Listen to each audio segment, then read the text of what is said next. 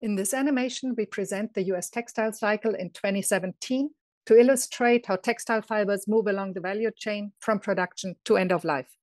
The life cycle starts with fiber input to yarn production and includes fabric production, product manufacturing, end use, and end of life management. In this study, we focused on four types of natural fibers cotton, with most of the US cotton produced having been exported to other countries, wool, linen, and silk, and two types of man made fibers cellulosic and non cellulosic. The produced fibers become the input for yarn production, together with some imports. After some production losses, the produced yarn is mostly used for domestic fabric production, with the exception of cotton, which is mostly exported.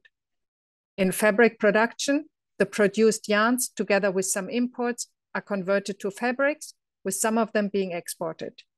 Most of the man-made fibers are used directly in manufacturing. Manufacturing consists of four final product groups. Apparel, with most of the clothing manufactured in the US made from natural fibers. Home furnishings, also made primarily from natural fibers. Industrial applications, mostly made from man-made fibers. And floor coverings, also made predominantly from man-made fibers. The manufactured final products are then entering end use together with substantial amounts of imported final products. Imported apparel made of both cotton and man-made fibers, home furnishings made of mostly man-made fibers, and some floor coverings made of natural fibers. Textile products then remain in use as part of the in-use stocks with lifetimes of around four to nine years. In end-of-life management, textile products that are no longer needed or functional reach their end of life with most ending up in landfills, around 70% in 2017. Some textiles were combusted or incinerated, and only a small fraction was recovered.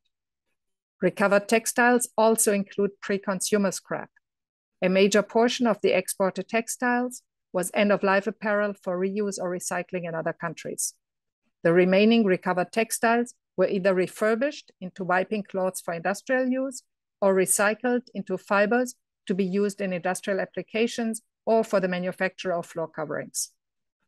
This research was conducted by Shahana Altaf and Barbara Reck at the Yale School of the Environment with support from the Remade Institute. Thank you for your attention.